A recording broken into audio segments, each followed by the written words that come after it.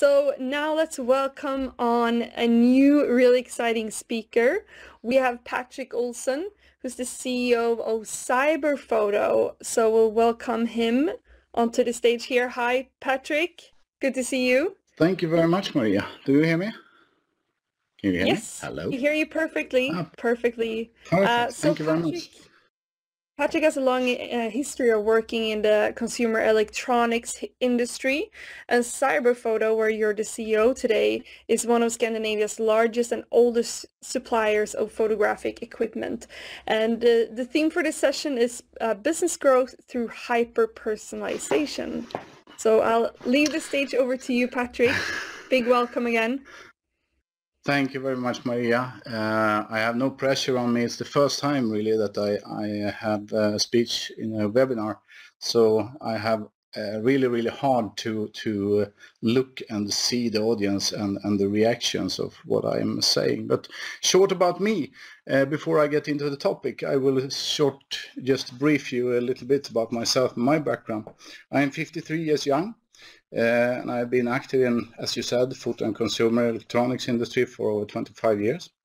Uh, it started in early 1990s uh, at the German photography company Agfa Gevaert. And then I moved on to the Swedish specialist retail chain called Expert, uh, which is not uh, with us anymore, uh, and further to Canon Sweden as a key account manager, to finally land at Cyberphoto as CEO. Um, what the future have to hold remains to be seen, so we- we'll see. My goal has always been to move on after about five years at the same company, so as not become a tired inventory that only managed daily, in, uh, managed daily instead of developing the business. Um, I was promised to myself that I, it was a promise to myself that I now, now have betrayed after 14 years as CEO of Cyberphoto, but I still developing myself, I think, and and I, I it's uh, really really fun to go to work every morning, and that's the that's the most important part. Okay, short. What is Cyberphoto? The foundation of this company, as Maria said, is is uh, from 1955, when it was a small photo shop or photo store in the center of Umeå in the northern part of Sweden, named Teges Foto. And Ingemar Lövgren, who is the father of the today's owner, Thomas, uh, ran the company and the store until 1994, when his son took over the business completely. In the mid-90s, when internet and home computers starting entering households, Thomas was very interested in building internet pages with HTML code, which resulted in him starting to sell used cameras over internet by mail order. And Cyberphoto as company was established in 1995. Our payoff text has always been personal service on the internet. And the vision is that we should always exceed the expectation of everyone we meet. Of everyone we meet, whatever it's a customer, a supplier, a friend or a visitor to us. And our aim is to grow organically every year, and the goal is never to land in a negative result. From 1995 to present day, we have gone from a turnover to around 400,000 sorry, euro to the fact that we have now passed 36 million euros without yet showing a negative, negative result. And then all these words, words about exceeding expectation, being personal, being reachable, being the best of the best to take care of customers. The words are so easy to say for everyone, but they aren't as easy to live by for everyone. But never forget that today it is only the small, small difference that makes the difference. The products are the same for everyone, the prices are about the same for everyone, and the delivery times when it comes to e-commerce are about the same for everyone. So what is left to compete with? Well, it's just a small difference in everything we do and how we do it that makes the difference. I'm going to tell you a little about our market, the photo market in Sweden. Uh, for cyberphoto, it is primarily, primarily our interest is photography and video. That is the foot on our company, that is the driving force. However, we already, about 10 years, years ago, we saw where the market was going. Example with mobile phones as a new tool, which quickly was developed into taking pictures. A tool that we always have available in our pockets and with images that today for many both in quality and in the huge opportunities for this dimension is good enough. We saw the connection between the mobile phones and photo as an interest early on, after which the product category became a natural part in our range of products. This is to include outdoor equipment as binoculars, dog trackers, GPS receivers, communication radios, and more as natural complementary tools in the interest of our end users. The decision we made through several categories and a wider product range provide to be right. The photo market is changing and it is changing very, very fast. The number of photo products sold on the Swedish market has decreased by as much as 80% and the sales value has halved in the last eight years, while we are still growing in our categories. So I'm very happy for that, something we are doing right. now I'm going to talk a little about something that I keep very close to my heart except for the little pink elephant I have there. I'm, I think uh, many of the Swedish uh, people who is looking at me right now uh, knows the elephant as a children's program when I was young. Okay, as I mentioned earlier, our ambition has always been to put you as a customer first, to always understand the customer's needs, to to provide the absolute best personal service both before, during and after the purchase. We always write our product text ourselves based on what we ourselves as user think of the products before what the manufacturers themselves think of it. To always be available and provide answers as quickly as possible through phone, mail and chat and social media to always do everything we can to ensure that the customer is ultimately so satisfied with our, response and or our willingness to find proactive solutions and thereby become the obvious choice of store at the next purchase. We are convinced that a personal response on all levels and through all processes automatically activates the most powerful form of marketing. Uh, that's the form for for word to of, of uh, word of mouth is called especially in, in the specialist language is and in many cases is a little bit taboo because uh, they have abused it in pyramid sales but it's called multi-level marketing if I am happy as a customer, sorry, my phone is ringing, I'm a bad person. Sorry, sorry, sorry. That wasn't my meaning. Something has to happen always. Uh, okay. Uh, multi-level marketing. If I, as a customer, are happy, I will tell five or ten people about it. And I will also do it if I am disappointed at the business. So we must never, never underestimate our customer's experience. If the customer feel that we have done something wrong, it is the customer's experience that applies, nothing else. You can never, never win over a customer who is dissatisfied, no matter what. Get personal by always giving each customer your full attention, understanding the customer, making the customer happy, It is the only thing that counts and that will provide long-term profitability. If I lose a few euros today to make a customer completely satisfied, it gives me an opportunity to get both the customer and my lost euros back with additional profit. If I do not satisfy, satisfy the customer, I will be allowed to keep my euros and I will also not get any help from the customer for our future growth.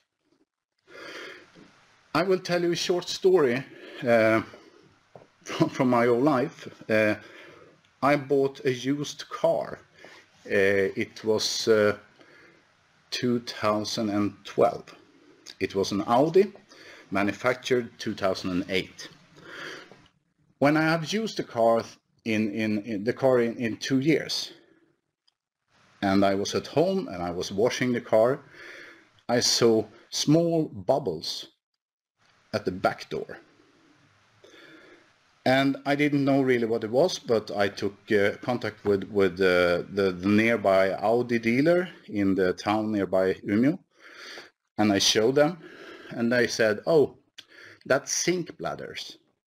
You know, on the top of the metal we'll make a zinc coating and on the zinc coating we, we lay the, the paint. And when the zinc bladders, the, the zinc is releasing from the metal, it will be a bladder and the, the paint will crack. And the, the, when the paint cracks, you get in moisturize, moisture, and it will be rust. So I said to the calder, oh shit, what should we do about it? Then he said to me, oh, your Audi is now six years old and uh, you have driven it uh, a couple of miles. So I, I'm sorry, I have no guarantee that we can do anything about it. But I will check what I can do and I come back to you with a proposition. It uh, went a couple of days and the uh, Audi dealer took contact, contact with me again and he said, okay, even if the car is only six years old, the paint should not fall off. We take this as a goodwill and we repaint your car. That's no problem. I was very happy and I told rather many in my of my friends and, and so about uh, what nice guys they were and they took care of me. That was customer care for me. That was customer care for me. There was no guarantees, but it was customer care. So I can tell everything good about them. And uh, even right now, I am telling you about it, and they have not paid me anything for me to tell you that they are uh, amazing. Uh, about three years ago, I bought a new car. It was a BMW. And uh, the car was three years old, and I uh, had driven it for one year. and when I, I am washing my car home, uh, I see the same bladders, the same cracks in the paint as I had in my Audi. Due to the Audi was six years old and this uh, BMW was only four years old. So I did it the last time I took my car. I went into the to the car dealer. In this case, it was BMW call the car dealer. And I showed him the, the back door. And he said, oh, that's no good. You have uh, bladders in your paint. Yeah, I know, I said. What can we do about it? And he told me, oh, um, this is uh, what you call sink bladders. Yes, it was my, I, I thought it was zinc bladders. Yeah, and you know, we have guarantee for the rust, and that's for the metal. And we have guarantee for the paint, uh, and that's for the paint. But this is not metal, and this is not paint. So I'm sorry, this is no guarantee. And I said, as I did before when I was at Audi, what can we do about it? And he said, I'm sorry, I can't, I cannot do anything about it. What can I do about it? I said. And he said, if you go in there there's our paint shop and you can uh, talk with them and, and listen how much they want to, to repaint your car. I say thank you and I went away. Um, probably he saved about 200 euros at that time. Because repainting my back door at the BMW should be a cost about 400 euros here in Sweden. Um, and if he had told me that I'm sorry, we cannot take it at the warranty, but we can do like this. Can we share? You take 200 euros, I take 200 euros. Is that okay? Probably I have said, yes, no problem. I am very grateful. Thank you very much. He did not do that. Uh, so I went away and he didn't have to pay 200 euros. So he saved that money right now, right then, and he also made me talk about it for you right now. That's the interesting thing with customer care, and that's the very, very interesting thing to being personal to every customer that you meet. And this is what my heart is beating for. Take care of the customer, whatever happen, because you cannot, you cannot win over a dissatisfied customer. This takes time. This takes very much time. So, about giving us time to our customer through data-driven personalization and marketing. Now I came to the really topic. Uh, taking care of customer being 100% personal with each indi individual requires hard work and it requires a lot of time to do it. As Cyberphoto has grown, we ask ourselves daily, how can we become more personal with every customer that we meet? How can we be more effective in our willingness to deal with everyone based on everyone's interest and everyone's need? How can we use our knowledge of each individual customer in the best way? Through the opportunities that we have today to analyze our customer data, it is currently only the imagination that sets the limit on how we can automate parts of our communication with the customer, so it will be personal. I will describe a few examples. Um, today, we can let our system, through personal newsletters, SMS or CRM mailings, show only what the customer is actually interested in, based on the information and the history that the customer has provided to us. Example, the Sony interested customer receives offers or information about Sony products with suitable accessories, advice and tips. While the Canon customer receives the same applies to Canon as brand.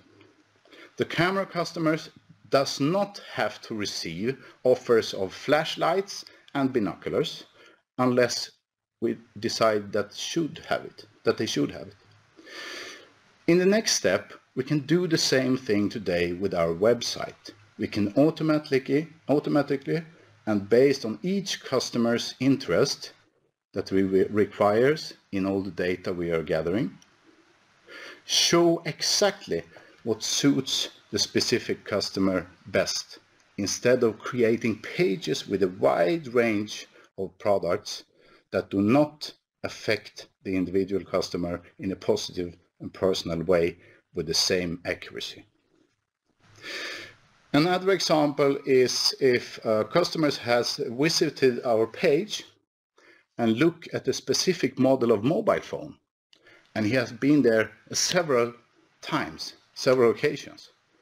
We can use the data we have automatic to, automatically to give the customer the last incentive for him or her to complete the purchase after the third visit or the fifth visit. We can do this to a nice pop-up that offers a customer uh, an extra discount if they, they make their purchase in within a set of time. Alternatively, an email with an offer of a favorable partial payments of that particular mobile phone if the purchase is complete within a set of time. The possibilities through our systems based on the information we have about each customer to communicate with them in a personal and efficient way while giving ourselves more time to take care of each individual customer, focused on our core business and create the best offers through the best product range for our market, for customers in almost endless time, I hope. However, it is of great importance to find a balance where customers do not feel persecuted or harassed. Finding the balance to this is important as accept, acceptance can, uh, can differ greatly between different markets, countries and age and groups. So that, that's a thing that only you know best from your customers and at your source. So think of the balance. Do not mail them to death. Uh, find the, the, the, perfect way to do it. For us at Cyberphoto, this is just a beginning. There is so much more that we can do, and there is so much more that we will do. But in everything we do, we must never, never forget what I said earlier, that the market is about same for everyone, the products is about same for everyone, the prices and the delivery options are about same for everyone. The only thing we can compete with today and be absolutely best at is your willingness to exceed the expectation of every individual we meet. It is just a small difference that makes the difference. And now I am ready, Maria. That's all for me.